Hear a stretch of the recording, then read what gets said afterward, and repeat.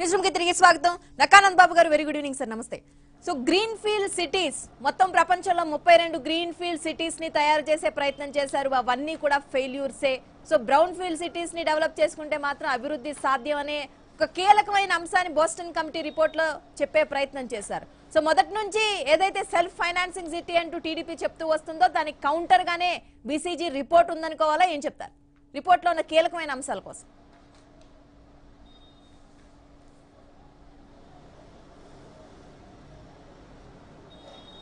ఇప్పుడు ఈ BCG committee అనేది ఇలా ఆంధ్రప్రదేశ్ రాష్ట్రంలో సామాన్య మానవులు ఎవరైనా అడిగితే అసలు దాని గురించి అవగాహనే లేదంటారు. అంటే ఎవరికి తెలీదు అసలు ఎప్పుడు ఇది ఏ ద్వారా వచ్చిందో ఈ బీసీజీ అనేది బోస్టన్ కన్సల్టింగ్ గ్రూప్ అనేది ఎప్పుడు అపాయింట్ చేశారు ఎందుకు అపాయింట్ చేశారు వాళ్ళకి ఏమి డ్యూటీస్ అప్పచెప్పారు. అంటే రాజధాని డివైడ్ చేయటానికి కావలసినటువంటి నివేదిక ఒకటి తయారు చేయమని చెప్పి ఇచ్చినట్టుంది. ఇప్పుడు మధ్యాహ్నం ఈరోజు మా నాయకుడు చంద్రబాబు నాయుడు గారు చెప్పినట్టుగా ఈ కన్సల్టింగ్ గ్రూప్స్ అంటే ఏంటి? ఎవరు డబ్బులు ఇస్తే ఎవరు రాసివ్వంటే అది రాసిస్తారు. జగన్మోహన్ రెడ్డి గారికి ఏది కావాలో అదే రిపోర్ట్ జిఎన్ రావు గారితో తీసుకున్నాడు. ఇవాళ బీసీజీ అని చెప్పి ఇది ఒక ప్రైవేట్ ఆర్గనైజేషను. కన్సల్టింగ్ గ్రూప్కి ఈ పని ప్రైవేట్ ఆర్గనైజేషన్ కూడా విజయసాయి రెడ్డి గారి అల్లుడికి సంబంధించిందని చెప్పి చెప్తా ఉన్నారు. ఇదంతా ఒక ముఠా.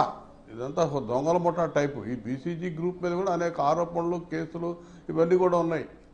ఇప్పుడు వీళ్ళకిచ్చి ఒక రిపోర్ట్ తీసుకొని దాన్ని బేస్ చేసుకొని ఈ రాజధానిని విభజిస్తాం ముక్కలు చేస్తాం అని చెప్పి దీని మీద పెద్ద ప్రజెంటేషన్ ఇచ్చి నిన్న ప్రజల్ని అయోమయానికి గురి చేయటం. వాళ్ళు అనుకున్న విధానం ఏదైతే ఉందో రాజధానిని మూడు విధాలుగా విభజన చేయాలనే దానికి అనుకూలంగా అనుగుణంగా రిపోర్టులు తెప్పిస్తా ఉన్నారు. ఈ రెండు రిపోర్ట్లు అధ్యయనం చేయడానికి ఒక హై పవర్ కమిటీ. అది ఎవరితో చేస్తాడు? అది వీళ్ళ మంత్రులు పది మంది మంత్రులు. ఆ మంత్రులు ఏమిస్తారు జగన్మోహన్ రెడ్డికి ఏ విధంగా ఈ రిపోర్ట్ల నుంచి ఏ క్రోడీకరించి ఏ విధంగా రిపోర్ట్ తయారు చేయాలో అదే విధంగా తయారు చేసుకుంటారు. ఇప్పుడు ఇందులో అసలు వీళ్ళు తయారు చేసేది కూడా ఏమీ లేదండి. ఇప్పుడు. జిఎన్ రావు రిపోర్ట్ కూడా జిఎన్ రావు స్పష్టంగా చెప్పాడు అజయ్ కల్లాం గారు ఇచ్చిన రిపోర్టే నేను సబ్మిట్ చేశానని. ఇప్పుడు అది స్పష్టంగా మధ్యాహ్నం కూడా మేము అది వీడియో ఫుటేజెస్ కూడా చూపించాం. ఇప్పుడు అజయ్ కల్లా రిపోర్ట్ ఇచ్చాడు అదే జిఎన్ రావు గారు ఇచ్చాడు అదే రిపోర్టు బీసీజీ వాళ్ళు ఇంకొంచెం మార్పులు చేర్పులు చేసి ఇస్తున్నారు. ఈ రెండు కలిపి ఇంకో రిపోర్టు గవర్నమెంట్ తయారు చేసుకుంటుంది. జగన్మోహన్ రెడ్డి గారికి సంబంధించినటువంటి కన్సల్టింగ్ గ్రూప్స్ తయారు చేసుకున్న రిపోర్ట్సే రేపు హై పవర్ కమిటీ నుంచి వస్తుంది. దీన్ని అసెంబ్లీలో పెట్టి క్యాబినెట్లో పెట్టి దానికి మామ అనిపిస్తారు. ఇప్పుడు ఇది క్లియర్గా అర్థమవుతా ఉంది. కానీ ఇక్కడ ఎందుకు చేస్తా ఉన్నారు? ఇప్పుడు ఈ బీసీజీ రిపోర్ట్ అయినా జిఎన్ రావు కమిటీ రిపోర్ట్ అయినా ఇక్కడ చెప్పినవన్నీ అబద్ధాలు అనేది తేలిపోతా ఉంది. ఏది ఇక్కడ వరద ముంపు ఉంది ఈ ప్రాంతానికి అని చెప్పారు. అది లేదు అనేది నేషనల్ గ్రీన్ ట్రిబ్యునల్ తీర్పులు కానీ దాని మీద అప్పీల్ అప్పీలేట్ అథారిటీగా అప్పీల్కి వెళ్ళినటువంటి సుప్రీంకోర్టు ఆర్డర్స్ కానీ ఇక్కడ వరద ముంపు లేదనేది తేల్చేసినాయి. ఆ తర్వాత నిర్మాణ వ్యయం ఎక్కువైంది ఇక్కడ అని చెప్పి అదొక వంక పెట్టారు. దానికి సంబంధించినటువంటి కన్సల్టెంట్స్ చెన్నైకి సంబంధించినటువంటి ఐఐటి వాళ్ళు వీళ్ళందరూ చెన్నై హైదరాబాద్ కంటే కూడా నిర్మాణ వ్యయం ఇక్కడే తక్కువైందని చెప్పి రిపోర్ట్ ఇచ్చారు. ఇప్పుడు ఇక ఇవన్నీ కాదని చెప్పి లక్ష కోట్లు ఖర్చు అయింది అని చెప్తా ఉన్నారు. ఇప్పటికీ దాదాపు తొమ్మిది వేల ఐదు వందల కోట్లు మనం ఖర్చు పెట్టాం. ఖర్చు పెడితే దాని గవర్నమెంట్ నుంచి ఇచ్చింది ఐదు వందల కోట్లు అని చెప్పి వాళ్ళే చెప్తా ఉన్నారు. అంటే ఇది సెల్ఫ్ ఫైనాన్సింగ్ ప్రాజెక్ట్ అనేది మొట్టమొదటి నుంచి చంద్రబాబు గారు మా ప్రభుత్వం చెప్తా ఉంది. దాన్ని అధ్యయనం చేయండి మీరు. ఏ విధంగా సెల్ఫ్ ఫైనాన్సింగ్ ప్రాజెక్ట్ అనేది అధ్యయనం చేసి ఆ విధంగా ముందుకు పొమ్మని చెప్తా ఉన్నాం. అంతేగాని ఇది చంద్రబాబు నాయుడు గారు తలపెట్టాడు కాబట్టి ఇది ఉండకూడదు అనే ఒక కక్షపూర్తిగా వ్యవహరించడం అనేది. ఇది మంచి పద్ధతి కాదు. ప్రజల్లో ఉన్నటువంటి ఆందోళనలు గమనించాలి. ఇలా అదేదో ఒక ప్రాంతానికి సంబంధించి ఒక వర్గానికి సంబంధించి అనేది ఒక విష ప్రచారం చేయటం చేస్తా ఉంది ప్రభుత్వం. అంటే ఇది చాలా దుర్మార్గం. నూట యాభై ఒక్క మంది ఎమ్మెల్యేలని ఈ జగన్మోహన్ రెడ్డి గారికి ఇస్తే ఈ రాష్ట్రంలో ప్రశాంతంగా రాష్ట్రాన్ని ముందుకు తీసుకెళ్ళాల్సినటువంటి గవర్నమెంట్ రాజ్యమే హింసను ప్రేరేపించడం ఇది ఎక్కడ ఉండదు. ఎక్కడన్నా ఏదైనా అలజడులు ఇవన్నీ జరిగితే ఈ గవర్నమెంట్ ఉండే ఉంది ఎందుకంటే వాటిని అన్నింటినీ సరిదిద్దటానికి అణచివేయడానికి లేదా ఇంకోటి ఇంకోటి చేయొచ్చు. కానీ ప్రశాంతమైన రాష్ట్రంలో అనవసరమైన ట్రబుల్స్ క్రియేట్ చేసి గొడవలు సృష్టించింది ఈ ప్రభుత్వాన్ని చూస్తా ఉన్నాం. బహుశా బహుశా స్వాతంత్రం వచ్చినాక ఎప్పుడు జరగల ఇటువంటి పరిస్థితులు. ఈ రాష్ట్రంలో కావాలని చెప్పి కొని తెచ్చుకున్నట్టుంది. ఇవన్నీ కూడా ప్రజలు బాధపడతా ఉన్నారు. ఏంటి పరిస్థితి అని చెప్పి. కాకపోతే రోడ్లు ఎక్కి ఎక్కి మాట్లాడటానికి కొంతమంది భయపడతా ఉన్నారు. నిదానంగా ఖచ్చితంగా ఇదంతా కూడా అందరూ రోడ్ల మీదకి వస్తారు. ఆ పరిస్థితి ప్రభుత్వం క్రియేట్ చేస్తా ఉంది. ఎందుకంటే విశాఖపట్నంలో కూడా ఎవరు అడగల ఎన్ని మాకు రాజధాని కావాలని చెప్పి ఏ రోజు డిమాండ్స్ లేవు. ఆందోళనలు చేయలా. ఎస్ తిరుపతి రావు గారు? అసలు కన్సల్టెన్సీ ప్రమాణాలు ఏంటి ఒక శాస్త్రీయ దృక్పథం లేకుండా ఒక్క నిమిషం. సార్ ఒక్క నిమిషం సార్ ఒక్క నిమిషం. మీకు మీ దగ్గరికి మళ్ళీ వస్తాను. అసలు కన్ కన్సల్టెన్సీ ప్రమాణాలు ఏంటి ఒక శాస్త్రీయ దృక్పథం లేకుండా ప్రభుత్వం అడిగినట్టుగా రిపోర్ట్లు ఇచ్చుకుంటూ వెళ్తే దాన్నే ప్రభుత్వాలు అమలు చేస్తే తర్వాత జరిగే నష్టాలని ఎవరు భరిస్తారు? ఎవరు బాధ్యత వహిస్తారు? దీన్ని ప్రశ్నించేది ఎవరు అసలు?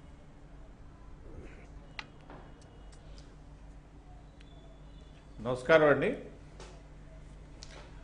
ఇప్పుడు జిఎన్ రావు కమిటీ నివేదిక వచ్చిన తర్వాత బోస్టన్ కన్సల్టెన్సీ గ్రూప్ నివేదిక రావాలి. వచ్చిన తర్వాతే దాని మీద ముందుకెళ్ళడం జరుగుతుంది అని చెప్పేసి ప్రభుత్వం చెప్పింది.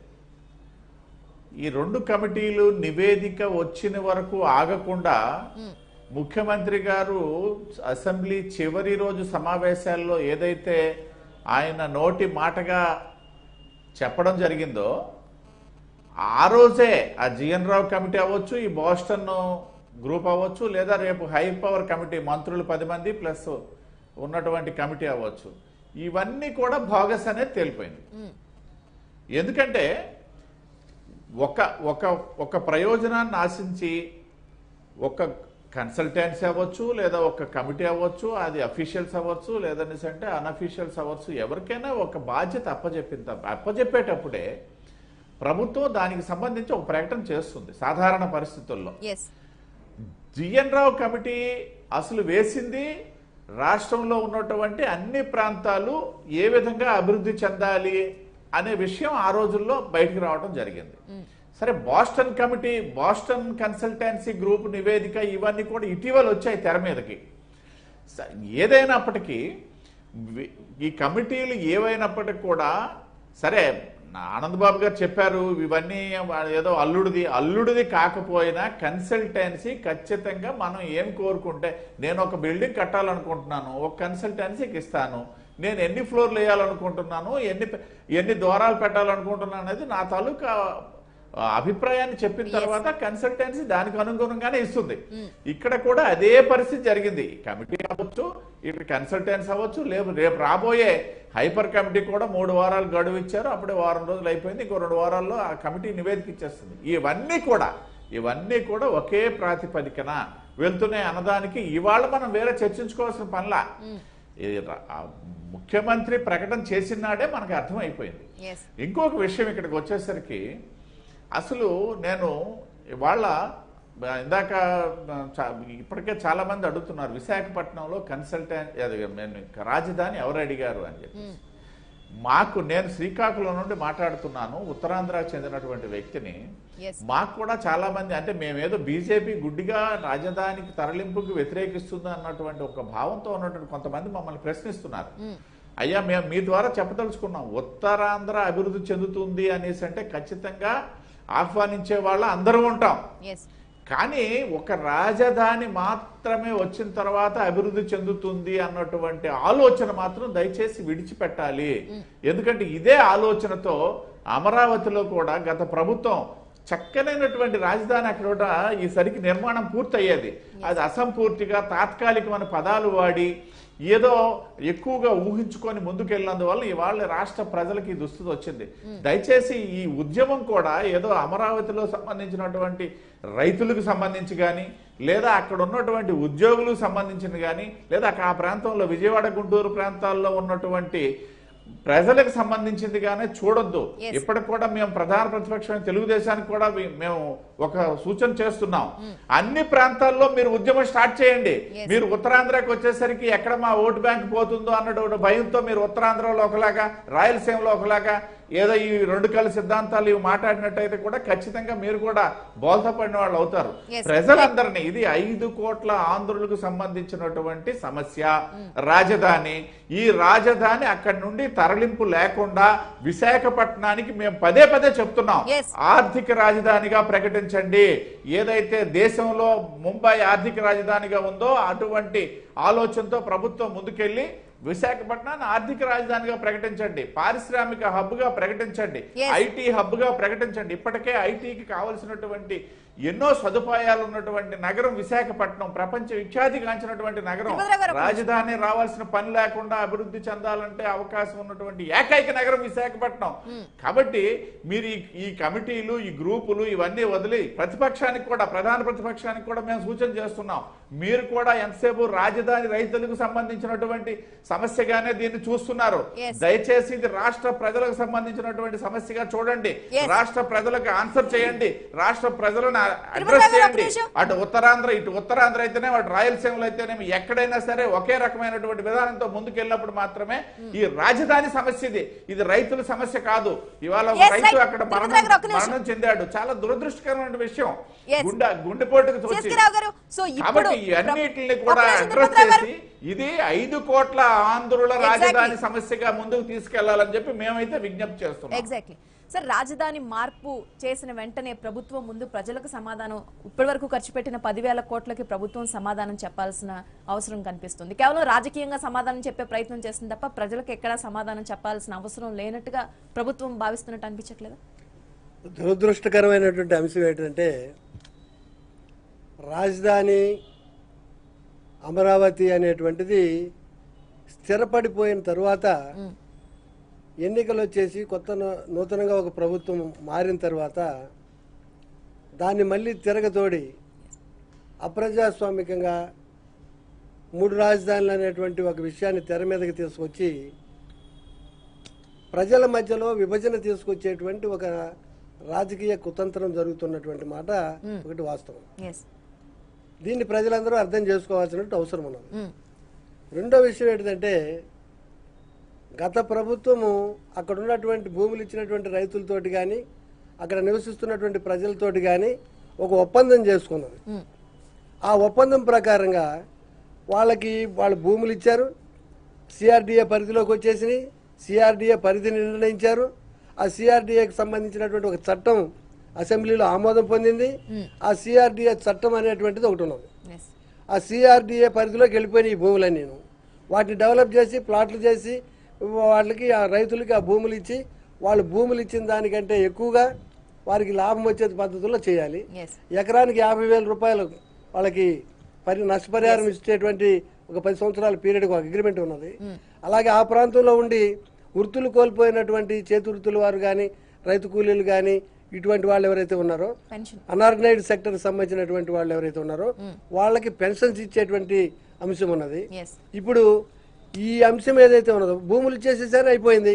అక్కడ ఉన్నటువంటి వాళ్ళందరూ అటు రైతాంగము వ్యవసాయం కోల్పోయారు. ఆ వ్యవసాయం ద్వారా వచ్చేటువంటి వాళ్ళకి ఉపాధి లేనటువంటి పరిస్థితి ఏర్పడింది. వాళ్ళకి పెన్షన్ ఇస్తామని చెప్పి ప్రభుత్వం చెప్పింది. ఈ విషయాలన్నింటినీ సిఆర్డిఏ సిఆర్డిఏ వీళ్ళ అధికార రంగంలోని సిఆర్డీలో ఉన్నటువంటి పాత అధికారులందరినీ పంపించేశారు. కొత్త అధికారులను తీసుకొచ్చి పెట్టారు. ఇవి సరే ఎవ- ఎవరు అధికారంలోకి వస్తే వాళ్ళకి సంబంధించినటువంటి టీముని ఆడ అధికారంలో పెట్టుకోవటం అంతకుముందు ఉన్నటువంటి అధికారుల మీద నమ్మకం లేకపోవడం ఇదంతా ఏదంటే ఒక ప్రజాస్వామికమైనటువంటి ప్రభుత్వం చేయాల్సినటువంటి పనులు కాదు. అయినప్పటికీ వాళ్ళకి అధికారం ఉన్నది వాళ్ళని మార్చుకున్నారు అది ఓకే. ఇక్కడ ఉన్నటువంటి రైతులు వ్యవసాయ కూలీలు లేకపోతే అసంఘటిత రంగ కార్మికులు వీళ్ళతోటి చేసుకున్నటువంటి సారీ ఫర్ ది ఇంట్రక్షన్ మంత్రి బొత్స ఒక్కసారి మీడియాతో మాట్లాడుతున్నారు అదనం చెప్పట్లేదు. కానీ ఒక్కసారి ఉద్యోగులు ఇక్కడ నుంచి అక్కడ రీహాబిలిటేట్ అవ్వడం స్టార్ట్ చేస్తే మళ్ళీ ప్రభుత్వం సెటిల్ అవ్వడానికి ఎంత సమయం పడుతుంది? మరొక్కసారి రాష్ట్రం మొత్తం సంక్షోభంలో పడినట్టు కదా? రాష్ట్రం ఆల్రెడీ సంక్షోభంలో ఉన్నది. మళ్ళీ ఇంకోసారి పడాల్సిన పనిలే. ఆల్రెడీ సంక్షోభంలోనే ఉన్నది. మనకి ప్రత్యేక హోదా ఇస్తా ఉన్నారు ఇవ్వలేదు కడప ప్లాంట్ అన్నారు కడప ప్లాంట్ ఇవ్వలేదు. విశాఖ జోన్ అన్నారు దాన్ని ముక్కలు చేసి ఇచ్చారు. అభివృద్ధి వెనకబడిన జిల్లాలకు సంబంధించినటువంటి డబ్బులు ఇవ్వడం లేదు. ఇటు బీజేపీ ఆ బీజేపీ ప్రభుత్వం మీద ఈ జగన్మోహన్ రెడ్డి గారు కానీ చంద్రబాబు నాయుడు గారు కానీ కనీసం దండం పెట్టి మాట్లాడే శక్తి కూడా కోల్పోయారు. వాళ్ళని మొత్తానికి వదిలిపెట్టేశారు. రాష్ట్రం అధోగతి పాలవుతున్నా కానీ కేంద్ర ప్రభుత్వం నుంచి రావాల్సినవి రావకపోయినా కానీ వాళ్ళు వాగ్దానం చేసి ఇవ్వకపోయినా కానీ ఈ రోజున ఎవరు కూడా దాన్ని ఒక ఇష్యూ కింద చేసి ఆంధ్ర ప్రజ ప్రజలకు జరుగుతున్నటువంటి అన్యాయాన్ని ప్రశ్నించడం మానేసి వీళ్ళ మీద వాళ్ళు వాళ్ళ మీద వీళ్ళు పెట్టుకొని లేనిపోని సమస్య రాజధాని సమస్యను ఒకటి సృష్టించుకొని. వాడు ప్రాంతీయ విభేదాలను సృష్టించి రాజకీయ ప్రయోజనాలను దాంట్లో ఏరుకోవాలనేటువంటి ఒక కుచితమైనటువంటి ప్రయత్నం తప్పితే దీంట్లో మరొకటి లేదు. అసలు నిజంగా ఆంధ్రప్రదేశ్ ప్రజలకి ఉమ్, జరుగుతున్నటువంటి దాంట్లో అటు చంద్రబాబు నాయుడు గారు కానీ ఇటు జగన్మోహన్ రెడ్డి గారు కానీ ప్రజల్ని కానీ ప్రతిపక్షాలను కానీ ప్రజా సంఘాలను కానీ మేధావుల్ని కానీ ఎవరిని కాన్ఫిడెన్స్లోకి తీసుకోవడం జరగలేదు. చంద్రబాబు నాయుడు గారు ఇక్కడి నుంచి రాజధాని తరలించేటప్పుడు ఎవరిని అఖిల పక్షాన్ని పెట్టి సంప్రదించాడా? తీసుకుపోయాడు అక్కడ పెట్టేశాడు. ఇక్కడ పది సంవత్సరాలు ఉండ ఉండటానికి అవకాశం ఉన్నా. అందరిని ఎవరిని అడిగామనే తీసుకుపోలేదు. ఆడ తీసుకుపోయిన తర్వాత శివరామకృష్ణ కమిషన్ రిపోర్ట్ని ఏమైనా ఆయన అందరితోటి కలిసి చర్చించి దాన్ని పక్కన పెట్టి నారాయణ కమిటీని వేసాడా అది ఆయన చేయలేదు. ఇప్పుడు అలాగే ఇప్పుడు జగన్మోహన్ రెడ్డి గారు ఇప్పుడు అక్కడ అమరావతి ఆల్రెడీ అయిపోయింది. మంచి చెడు అవన్నీ చూశారు. ఇట్లాంటి అప్రజాస్వామిక చర్యలు చేసినందుకు పనిష్మెంట్ ఇచ్చారు. నువ్వేం చేసింది లేకపోయినా కానీ నీకు తీసుకొచ్చి అధికారం అప్పడంగా చేతిలో పెట్టారు. పెట్టినప్పుడు నువ్వు ప్రజాస్వామికంగా వ్యవహరించి ఇదిగో గత ప్రభుత్వానికంటే భిన్నంగా నేను అందరినీ కలుపుకొని పోతున్నాను ప్రజా ప్రభుత్వాన్ని నడుపుతున్నాను అనేటువంటి ఫీలింగ్ ఇవ్వాలి కానీ వాళ్ళనే వాళ్ళ అడుగుజాడల్లోనే పూర్తిగా నడుస్తూ ఇప్పుడు ఆయన జిఎన్ రావు గారి కమిటీ ఇప్పుడేదో ఇంకో కమిటీ ఈ కమిటీలో ఎవరేశారు ఎక్కడేశారు. వాళ్ళకి ఈ టర్మ్స్ ఆఫ్ రిఫరెన్స్ ఏంటి ఆ కమిటీలకి ఏ విషయాలను పరిశీలించి ఆ వాళ్ళ యొక్క రిపోర్ట్ అడిగారు. అనేటువంటి అంశాలకు సంబంధించి క్లారిటీ కానీ ఏమీ లేదు మేము మూడు రాష్ట్రాలు మూడు రాజధానులు చేయదలుచుకున్నాం కాబట్టి ఎట్లా చేస్తే బాగుంటుందో చెప్పండి అని అడిగారా. లేకపోతే ఆంధ్రప్రదేశ్లో ప్రస్తుతం ఉన్నటువంటి అమరావతి రాజధానిని మార్చాల్సినటువంటి అవసరం ఉన్నది. కాబట్టి ఎట్లా మార్చాలో అని అడిగారా? లేకపోతే అమరావతిలో రాజధాని కొనసాగించాలని అంటే మెరుగైనటువంటి సూచనలు ఏమైనా మీరు ఇస్తారని అడిగారా. ఏమడిగారు అనేది స్పష్టత లేదు. ఈ స్పష్టత లేనటువంటి నేపథ్యంలో సరే ఇప్పుడు మూడు చేస్తాననేటువంటిది ఏదైతే ఉన్నదో రాజధాని విభజించి విభజించినందువలన అభివృద్ధి జరుగుతుంది అనేటువంటి ఒక రాంగ్ నోషన్ ఏదైతే ఉన్నదో. దాన్ని ప్రజలు అర్థం చేసుకోవాల్సిన అవసరం ఉన్నది. అప్పుడు అసెంబ్లీ హైకోర్టు లేకపోతే సెక్రటరియట్ మంత్రులు గవర్నర్ గారు హైకోర్టు ఇవన్నీ ఒకటి దగ్గర ఉంటే అక్కడ బ్రహ్మాండమైన అభివృద్ధి జరుగుద్ది. లేకపోతే జరగదు అనేటువంటిది ఏమి లేదు. విశాఖపట్నంలో ఏమున్నాయని కాబట్టి హైదరాబాద్ తర్వాత నెక్స్ట్. విశాఖపట్నం అభివృద్ధి చెందింది. కాబట్టి అన్నీ ఉన్నా కానీ విజయవాడ సెంట్రల్గా ఉన్నప్పటికీ అందరికీ రవాణా సౌకర్యాలు కలుగుతున్నప్పటికీ అదెందుకు విశాఖపట్నంతో పోటీ పడి అభివృద్ధి కాలేకపోయింది.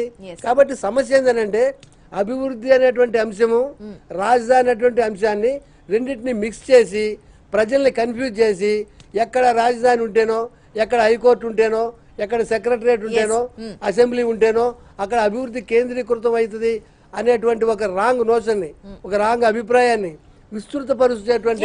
క్రమం జరుగుతున్నది. రేపు పోతిన మహేష్ గారు. సో అన్నిటికన్నా కీలకమైన అంశం. ప్రభుత్వం అయితే బుల్డోస్ చేసుకుని వెళ్ళడానికి సిద్ధపడింది.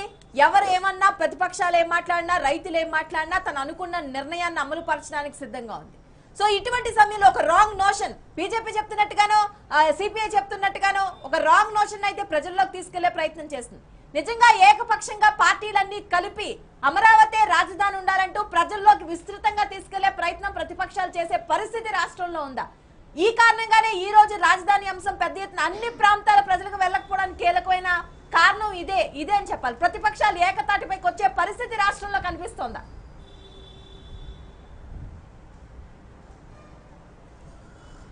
రూప గారు నమస్తే అండి. ప్యానెల్ సభ్యులందరికీ కూడా నమస్కారం తెలియజేసుకుంటా ఈరోజు అమరావతిలో మల్లికార్జునరావు గారు అనేటువంటి ఒక రైతు తన భూమిని తన ప్రాణాన్ని కోల్పోయినటువంటి ఒక దురదృష్టకరమైనటువంటి సంఘటన ఈరోజు మనం చూడాల్సి వచ్చింది.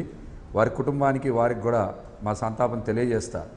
మీరు పదే పదే ఇందాక వాళ్ళందరూ మాట్లాడతా మనం ఇక్కడ మాట్లాడాల్సింది ఏంటంటే అండి ఈ రాష్ట్రంలో అన్ని పార్టీలు ఏకతాటి మీదకి వచ్చినా ఉద్యమం చేసినా లేకపోతే ఈ ప్రభుత్వాన్ని ప్రశ్నించినా ఇవన్నీ అంశాలని కూడా ప్రజలు ఒక ఏడు నెలల కిందటనే పదే పదే మా పార్టీ అధ్యక్షులు పవన్ కళ్యాణ్ గారు కూడా చెప్పడం జరిగింది.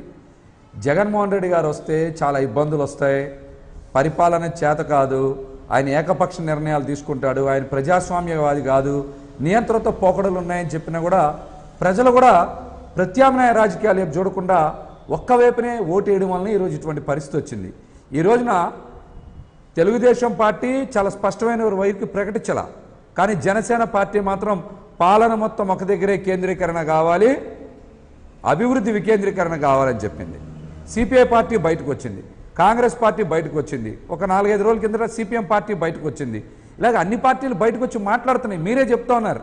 ఇందానికి ఎన్ని పార్టీలు ఏ ఉద్యమాలు చేసినా ఎవరు పోరాటం చేసినా జగన్మోహన్ రెడ్డి గారు ఈ విషయాన్ని బుల్డోజ్ చేస్తూ ఉన్నారు ముందుకు తీసుకువెళ్ళిపోతా ఉన్నారు. ప్రజల మీద బలవంతంగా ఈ యొక్క రాజధాని అంశాన్ని రుద్దాలనే ప్రయత్నం చేస్తున్నారు. దీని వెనకాల మనం కారణాల అన్నీ కూడా విశ్లేషణ చేయాలి. ఈరోజు బోస్టన్ కన్సల్టెన్సీ గ్రూపు చాలా బ్లైండ్గా ఒక నివేదిక ఇచ్చింది. దాంట్లో ఎక్కడా కూడా రాష్ట్ర అభివృద్ధి గురించి ఒక అంశమైన చర్చ చేసిందా? ఎక్కడైనా రాజధానికి ప్రత్యామ్నాయ మార్గాలు ఎలా ఉండాలని చెప్పిందా? అమరావతిని ఈ విధంగా అభివృద్ధి చేయొచ్చని చెప్పిందా?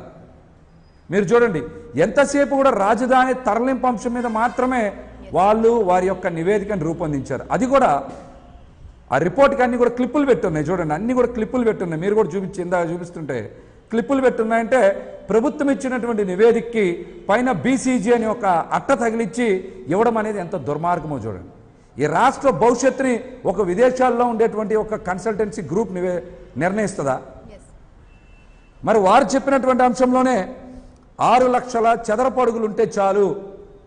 రాజధాని ప్రాంతానికి అనేది ఇప్పుడు అమరావతిలో అంతకు మించి నిర్మాణం డెబ్బై ఐదు శాతానికి పూర్తయినటువంటి నిర్మాణం ఉంది కదా. దాని గురించి ఎందుకు ప్రస్తావించలా?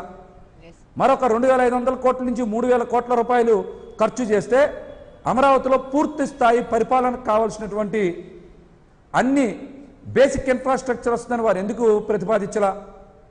ఎప్పుడో రెండు వేల తొమ్మిదిలో వచ్చినటువంటి వరదలు కృష్ణానదిలో వచ్చినాయి అని మాట్లాడినటువంటి వాళ్ళు రెండు వేల పద్నాలుగులో హుదూద్ తుఫాను విశాఖపట్నంలో వచ్చింది.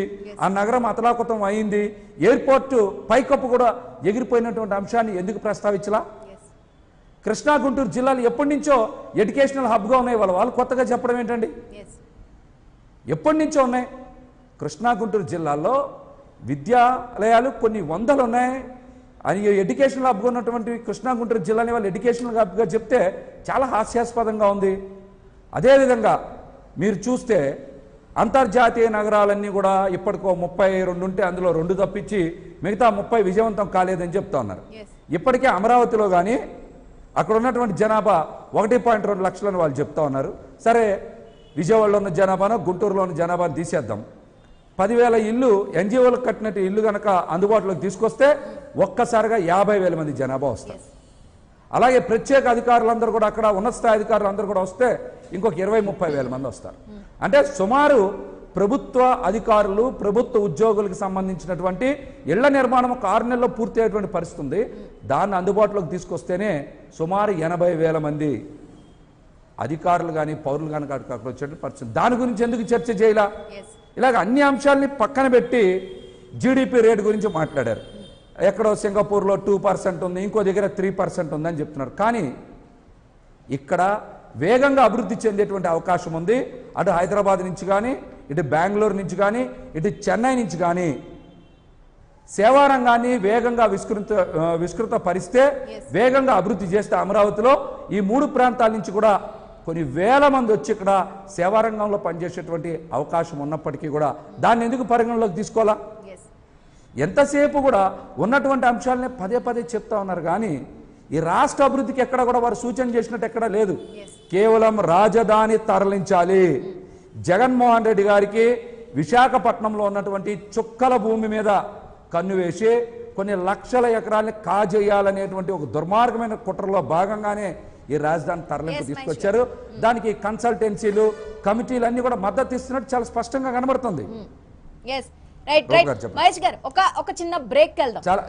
ఒక్- నిమిషం తప్పకుండా తప్పకుండా. మళ్ళీ వస్తారు మీ దగ్గరికి. ఒక చిన్న బ్రేక్ వెళ్దాం. బ్రేక్ నుంచి తిరిగి వచ్చిన తర్వాత సో రాష్ట్రంలో ఇప్పటికే ఉన్న పరిస్థితుల్ని ఎక్కువగా చెప్పడానికే బీసీజీ రిపోర్ట్ ఫోకస్ చేసింది కానీ విశాఖపట్నంలో పదివేల కోట్లు ఎక్కడ ఎలా ఖర్చు పెడితే ప్రభుత్వం చెప్తున్న బ్రౌన్ ఫీల్డ్ డెవలప్మెంట్ ప్రభుత్వం చెప్తున్న గ్రోత్ రేట్ పెరిగే అవకాశం వస్తుందో చెప్పే ప్రయత్నం మాత్రం బీసీజీ చేయలేదు.